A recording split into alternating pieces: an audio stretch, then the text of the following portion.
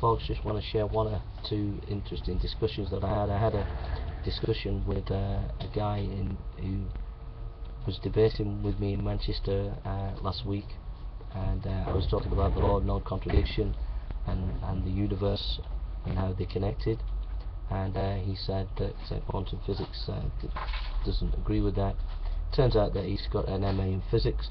I asked him, does he know anything about the Copenhagen school? He said no. I said if you've got an MA in physics, how come you don't know about the Copenhagen school? He says I only do Newtonian physics.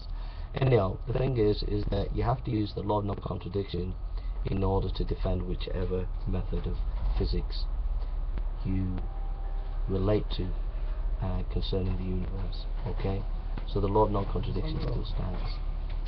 Alright, take care and God bless.